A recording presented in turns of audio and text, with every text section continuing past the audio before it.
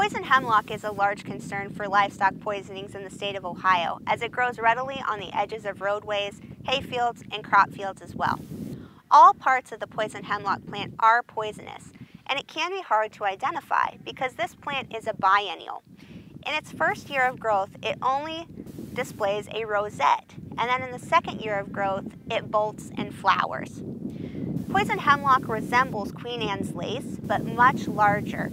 This plant can grow anywhere from two to six feet tall. The stems are hairless that are green with purple spots up and down the stems. The flower is shaped like an upside down umbrella with bright white blooms and resembles Queen Anne's lace. All livestock and people can be poisoned by this plant. The seeds are the most toxic part of the plant and must be avoided when harvesting grain. The plant is poisonous whether fresh or dried and can be a major concern if harvested with hay. Poison hemlock plants can produce up to eight different types of alkaloids that can cause damage to the spinal nerves and throughout the animal's body, including the respiratory, nervous systems, and muscular systems as well.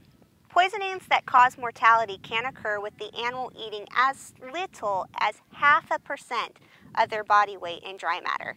As I mentioned, the plant is poisonous both fresh or dried, and its toxicity issues can concern even within siling. Symptoms of poison hemlock poisoning can occur within hours or may occur over a few days, depending on how much has been consumed. These symptoms include excess salivation, trembling, seizures, head pressing, depression, circling, respiratory failure, dilated pupils, and frequent urination and defecation. It is easiest to control poison hemlock while it is in the rosette stage. Plants may be noticed in the late fall if seed has germinated or early spring. Ideally, you want to treat the plant with a herbicide or by mowing before it exceeds 2 feet in height.